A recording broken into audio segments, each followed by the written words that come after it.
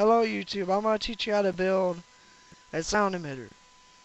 Pretty easy, really easy actually. I found out myself. Alright, find the sound emitter on WireMod. Put it down. Find the button around uh, I slash zero. I use blue for on and red for off. But you can do however you want. I recommend you turn off toggle. Then you want to go and find wire advance.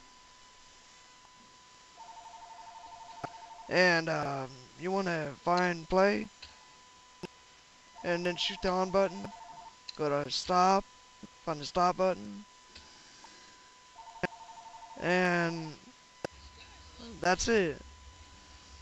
This video has no sound, so I'm trying to get that fixed. All I can get is my mic to come on. Anyway, that is how you use the sound emitter.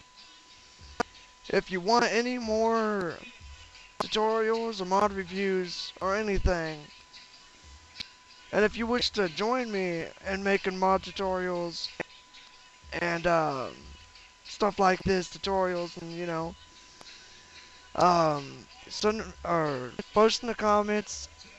I'll contact you, and I got a server up that we could do this stuff on. See you, YouTube.